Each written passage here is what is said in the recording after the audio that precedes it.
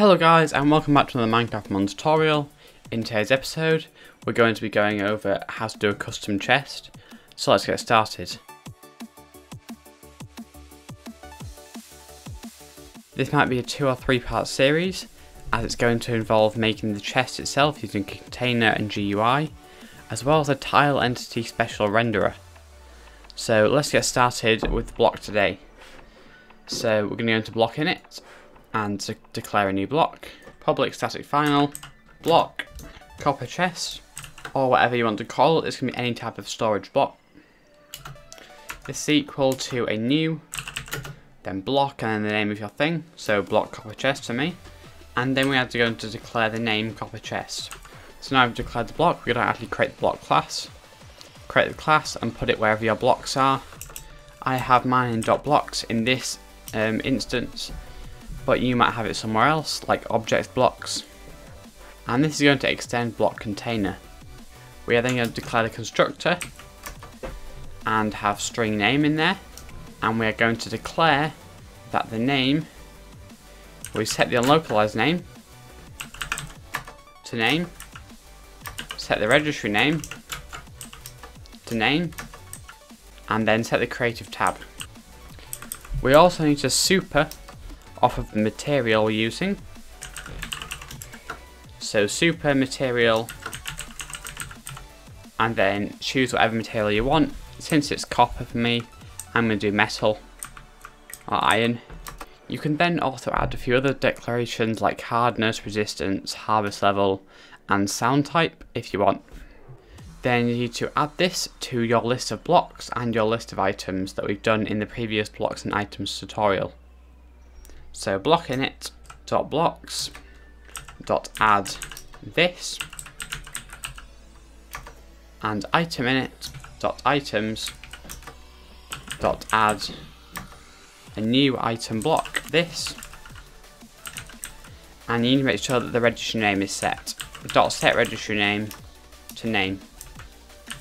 Make sure everything is imported by clicking control shift and O and also, if you want to search for any function like I was doing for item block there, you do control and space. So now we've done the constructor, there's going to be quite a few functions in this block class. Since we are opening a GUI, we need the onBlock activated function, which is called when you right click on the block. So onBlock activated,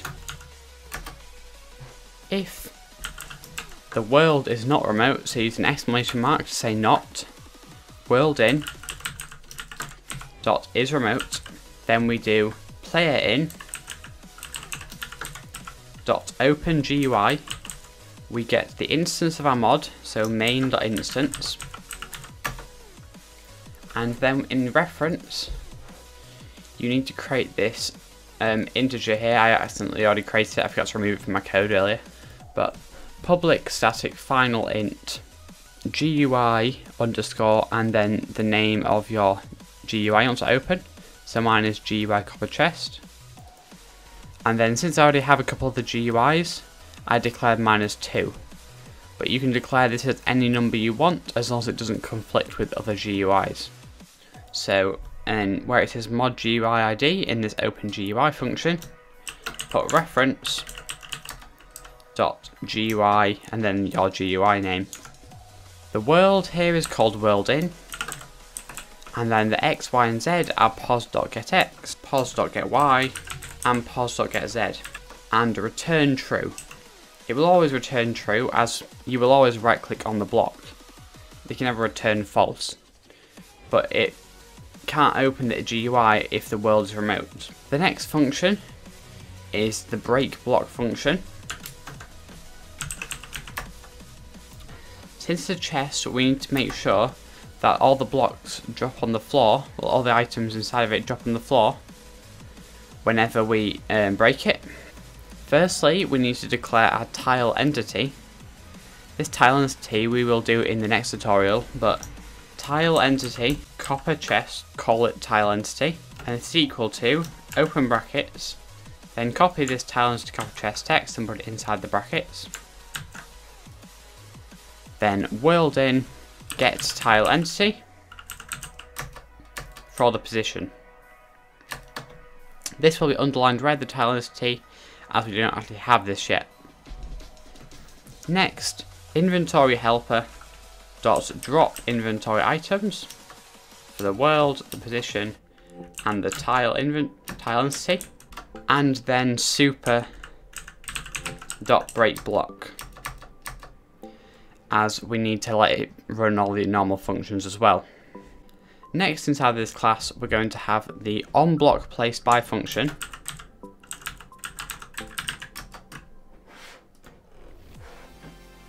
and we use this for setting the custom name so if stack dot has display name we declare the tile entity tile entity tile entity equals world in dot get tile entity for the position. Control Shift O to import tile entity. Then another if statement. If tile entity is an instance of tile entity copper chest, we can copy that again. Then open brackets twice, paste that in there again, and then put tile entity dot set custom name to stack dot get display name. Obviously again this is all going to be red underlined as we do not have um, a tile entity yet. Talking of the tile entity, we need to declare that we have one, so create new tile entity, return new tile entity copper chest, just copy and paste that in there again. And then the next function is get render type. All the functions after this are going to be about rendering and the way it looks. And since we are going to have um, the chest opening animation, we need to return enum block render type dot entity block animated then there's going to be finally three more functions. Is full block, return false. Is full cube, return false. The final one is is opaque cube. And once again, we're going to return false. And that is the block class done. And sure, hopefully all the errors from the block init should go away. Obviously the block class will still have some errors though. Next, we need to go into our GUI handler and we're going to have to declare a new GUI in here. So if ID is equal to, and the reference um, ID we mentioned earlier.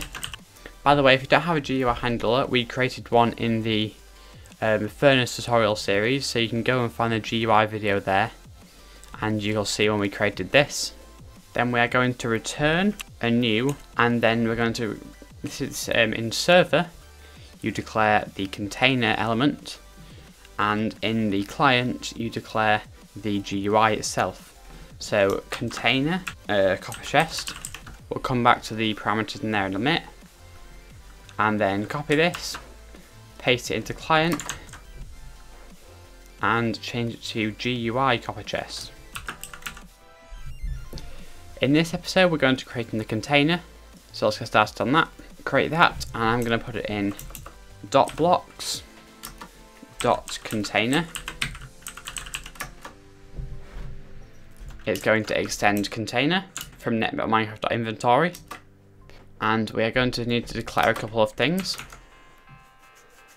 An integer called private final int num rows referring to the number of rows in the chest. And also um, private final and then the tile entity again. Tile entity copper chest, and that's the chest inventory. We are then going to open up the container copper chest, and in here we need the player's inventory from inventory player. We need the chest inventory from the tile entity, which we can just copy and paste from the variable. And we need the entity player itself. We need to declare that this dot chest inventory is equal to chest inventory so that the variable is equal to the um, variable inside of the constructor. This num rows is equal to chest inventory divided by 9. You should always keep your chests um, in rows of 9 as I came into some graphical glitches when trying to do it wider than 9. And then at the start of this constructor, we need to open up the chest inventory.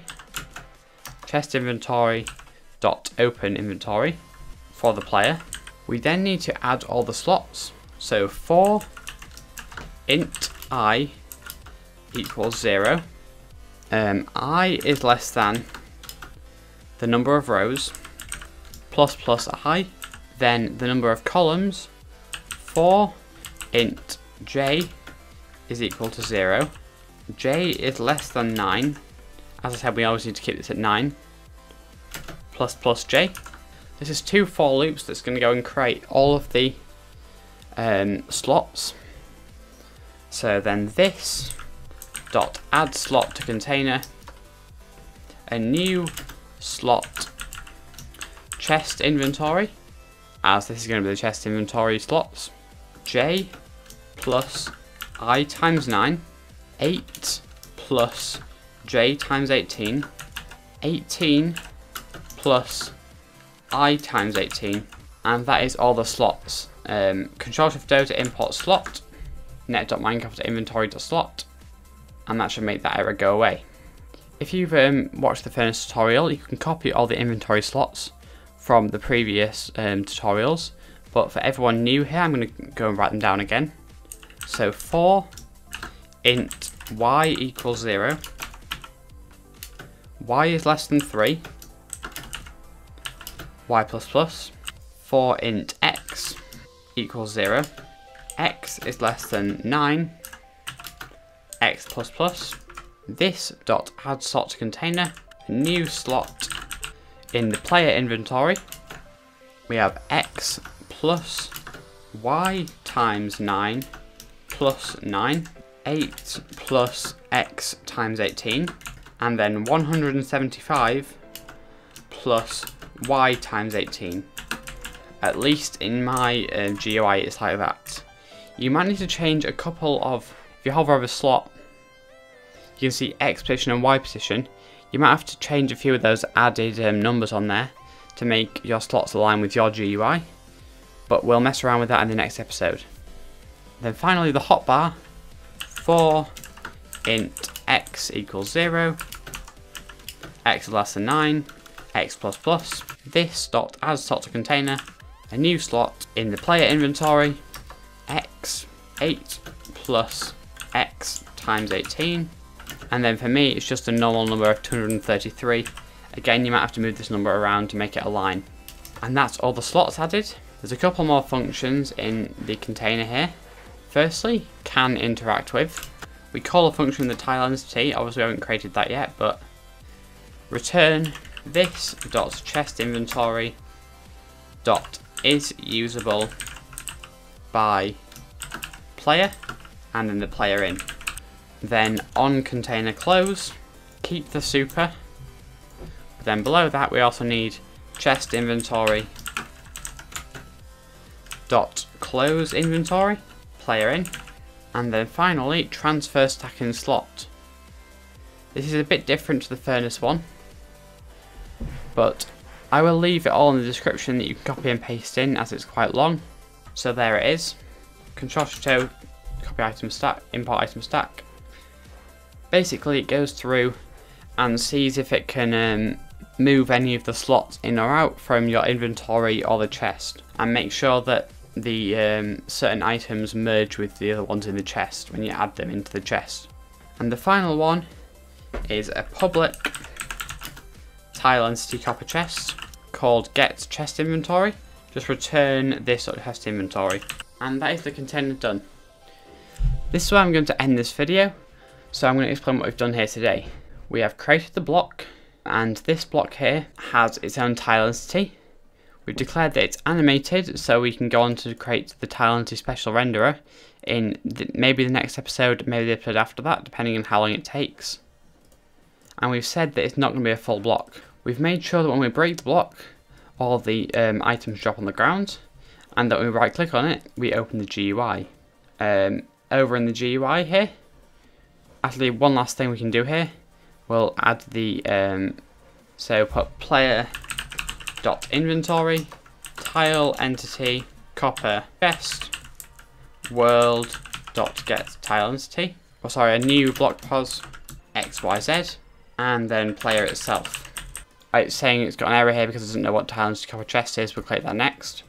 But here it's seen when um, we right click on this GUI and it sees the reference.gui copper chest. It's going to come to the GUI handler and it'll see these two. So it'll open the container that we've just created and the GUI that we'll create in the next episode. And in the container, we've created all of the slots where our inventory is going to go. I've made mine 9 by 8 but actually I can make it as big as I want because we have this num rows thing here. All depends on what number we put inside of the chest inventory. This here should actually be .get um, size inventory divided by 9. Um, so we're getting the size of this inventory here which we can change to any number and then it will divide by 9 and figure out how many rows. But I've designed the GUI to fit 8, um, 8 rows and 9 columns. So we have all of those that in this function here and this is the normal player inventory and we've set up a system where that when we um, shift click some items into the chest it will merge with any of the items that are in the chest already. So unfortunately I'm going to have to end this episode here as it's getting quite long. We will come back and fix all these errors in the next episode. So thanks for watching, my name's been Harry and goodbye.